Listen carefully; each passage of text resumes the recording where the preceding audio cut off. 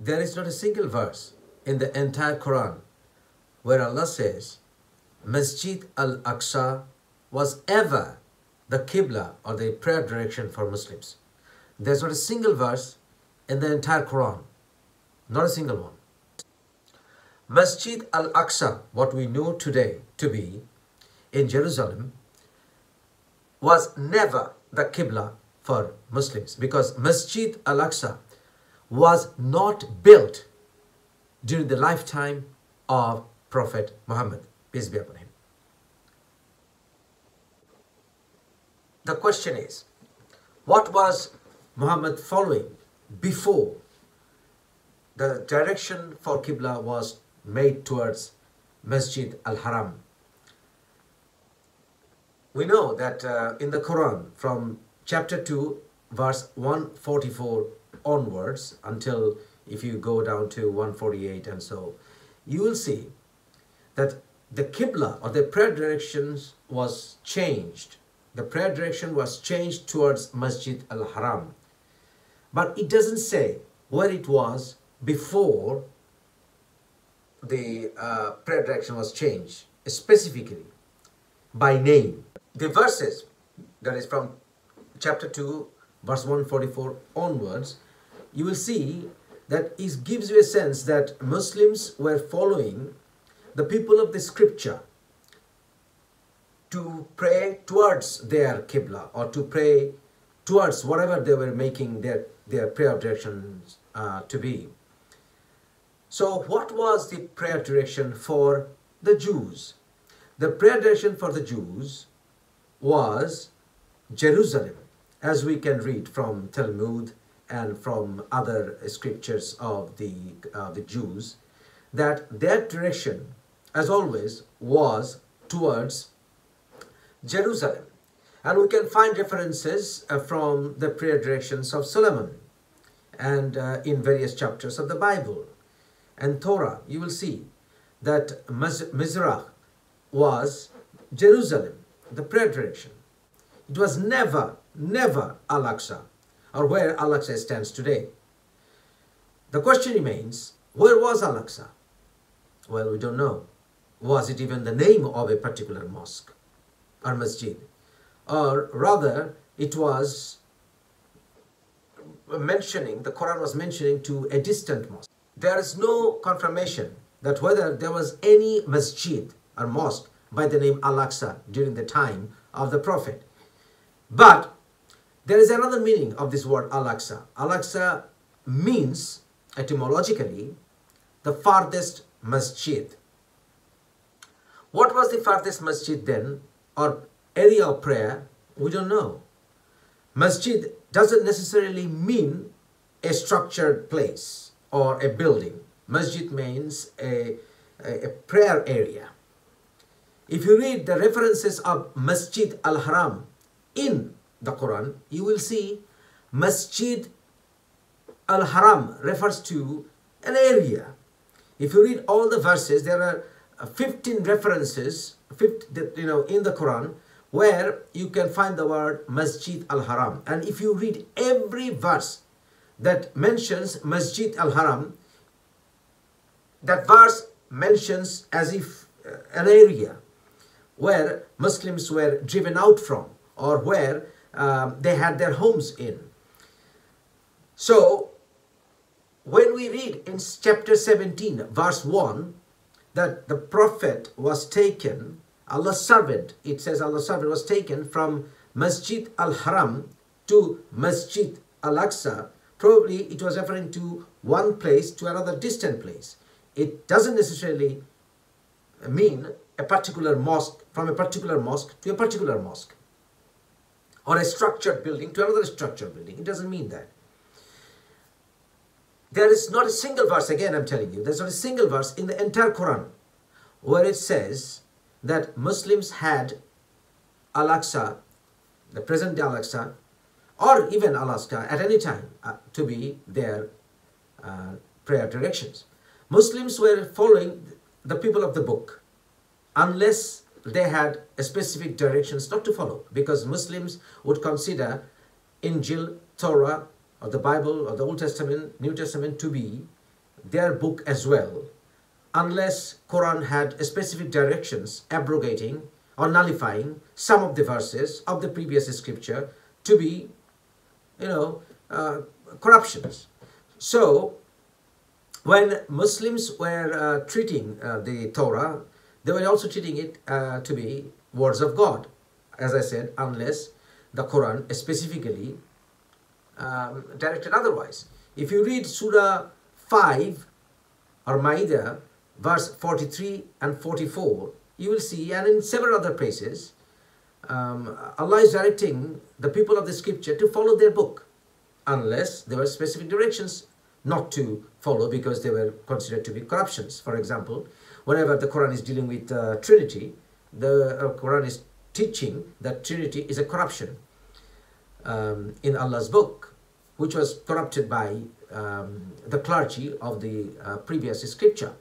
So, to claim that Al-Aqsa was ever the Qibla or prayer direction for the Muslims, hence it is a sacred mosque, is a blatant lie. It was rather um, uh, made into Islamic belief or it was interpolated into Islamic belief much later. As we know, hadiths were not written until almost 250 to 300 years of Prophet's death. And we do not have any uh, manuscripts uh, which are today considered to be of great uh, esteem. For example, we do not have a manuscript of Bukhari which was written by Bukhari. Uh, and it was written rather 100, 100 and plus years after the death of Bukhari that we have today, uh, as we treat as Bukhari. And then again, the complete Bukhari we find the earliest one about 1000 years uh, old. Nevertheless, again coming back to the issue, I think Al-Aqsa was, the issue of Al-Aqsa was um, rather politicized uh, for the purpose of uh, taking over Jerusalem. And if you read the Quran, uh, verse, uh, chapter 5, verse 21, and again, and chapter 17, verse 104, you will see that Allah rather gave um, Jerusalem to um, the Jews who were, are also considered people of the scripture or people of the book. So here's a challenge again for all Muslims to show me one explicit, unequivocal verse where it says Qibla was ever the direction, prayer direction for Muslims. Show me one. Surah 18, verse 1, Allah says that Quran is straightforward. And Surah 12, verse 1, Quran is comprehensive. And Surah 33, verse 70, Allah directs us to talk straight. So, show me a single verse from the entire Quran where it says that Al-Aqsa was ever the direction, prayer direction for Muslims. And uh, also it goes against um, the very story of why the Qibla was changed.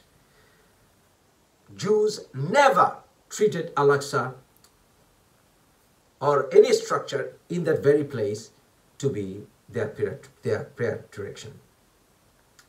Doesn't make any sense at all. And also, there's not a single verse in the entire Quran to say that Kaaba is in the area of Masjid al-Haram. Not a single verse in the entire Quran. So how can Muslims claim that Kaaba is a prayer direction for Muslims? I don't find any basis for that either. And as a Muslim, I don't believe Kaaba is the prayer direction uh, or Qibla for Muslims because there is no basis of it in the Quran. Rather, if you read Surah 10, verse 87, it says that the, uh, the followers of uh, Moses was, uh, were directed to make their homes their Qibla. And if you also read Surah 2, verse 144 and onwards, you will see that Masjid al-Haram was made prayer direction for Muslims for two reasons. First of all, Muhammad was very sad and he was looking up to the sky and Allah says he knew why because obviously Muhammad came from Masjid al-Haram area, And also to find out who were following him. Um, just to you know, uh, demarcate between um, Muslims and Jews, or uh, rather uh, the Mumin, or the believers uh, who believed Muhammad to be their prophet, and the people of the book who were not taking Muhammad to be their prophet. And as we all also know that Masjid al-Quba was the first mosque that Muhammad had established, uh, and, and obviously uh, Medina was established, Medina Mosque was established later on. So the people mainly who were praying in Masjid al-Quba, where obviously we know that the direction was changed to Al-Masjid al-Haram, uh, were the Muhajirs, or who followed Muhammad from his birthplace to um, that area. And also we can understand from later verses, say for example, uh, Surah 2 of the same Surah, verse 177, uh, that uh, Allah is saying that doesn't matter which direction you pray to words, you know, they're all the directions are Allah's. East, west, northwest, it doesn't matter which way you turn your face. Your righteousness doesn't believe, rely on that. And so also in Surah Rahman, we can also read verses like um, uh, um, Rabbul Mashriqain, Rabbul Maghribain, Fabiya Tukazimam. That means, you know, to, he's the Lord of the East, Lord of the West, you know. Um, also used to refer masjidah to be a place of prostration for them because they used to worship many gods and uh, their gods were standing like the statues of uh, uh, say Easter Island um, where they were bowing and they were praying. So masjid doesn't necessarily mean, or masjid doesn't necessarily mean an a structured place or a, um, a, a closed uh, uh, um, structure or a, or a building. There's nothing to suggest that there was a masjid or a mosque or a structured building named Masjid al-Haram or even Masjid al-Aqsa.